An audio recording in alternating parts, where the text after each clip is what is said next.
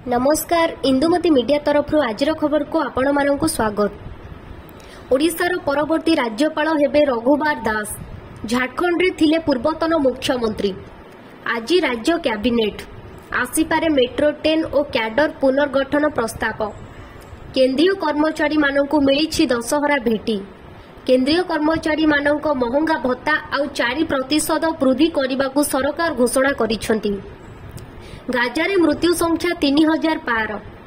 ଆଉ ଜଣେ top Hamas commander ଟଳିଥିବା ଇସ୍ରାଏଲର ଦାବି। ଏପରି ପିଟିସନ ଦାୟର କର ଯାହାର ଦମ୍ ଥିବ। ହିନ୍ଦୁ ଧାର୍ମିକ ସ୍ଥଳ ପରିଚାଳନା ସମ୍ପର୍କିତ ପିଆଇଏଲ୍କୁ ଖାରଜ କଲେ ସୁପ୍ରିମକୋର୍ଟ ତେଲେଙ୍ଗାନାରେ ନିର୍ବାଚନ ପ୍ରଚାର ଶୁଭାରମ୍ଭ କଲା କଂଗ୍ରେସ। ବସ୍ରେ ଯାତ୍ରା କରି ଜନସଭାକୁ ଗଲେ ରାହୁଲ ଓ ପ୍ରିୟଙ୍କା। ନକଲି ଜନ୍ମ ପ୍ରମାଣପତ୍ର ମାମଲା।